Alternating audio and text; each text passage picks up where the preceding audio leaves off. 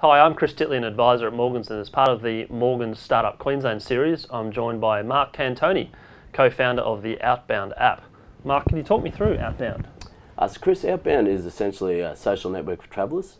It's a, a, mobile app. Uh, it works where uh, travellers can communicate with other travellers in their vicinity or in future destinations. Uh, there's several other features like a public notice board, uh, Wi-Fi finder, and you can you can match trips. Great. And how did you come up with the concept? Uh, well, Ryan and I, the other co-founder, uh, we both travelled quite a bit in our early 20s, and um, we, we just thought uh, it'd be great to communicate with other travellers in your vicinity or before you get there. Um, Facebook doesn't work because you already know everyone, so it's it really spawned from there, and um, we had a look around and saw and tried to discover if there was anything else similar, and there wasn't. So we thought, let's do this. So you, the competitive landscape, there's no one out there you believe that's uh, on equal par to what you guys are doing?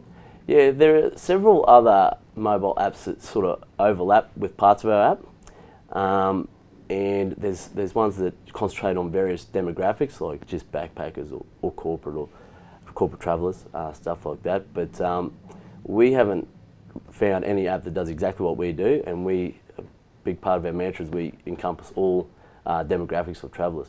Excellent. In terms of the engagement levels thus far, have you have you seen the app? Yeah, our metrics are very good. Uh, we launched in January. Uh, so far, we've had 25,000 downloads. Uh, the engagement's been terrific, and all our, our, metrics are heading in the right direction. In 2016, what are your goals for 2016? So 2016 will, will be a big year for us. We've, uh, we're currently in discussions with uh, uh, a couple of corporate entities um, about partnering. Um, we're hoping to do a, a capital, capital raise or a partnership early in 2016 and um, we just uh, parts of the app are quite attractive to uh, potential investors, uh, just in the pure uh, the ability for Outbound to capture a rich data set of a traveller's journey. Great, and uh, I believe in the last three months you've been part of the River City Labs Accelerator program. Can you talk me through that?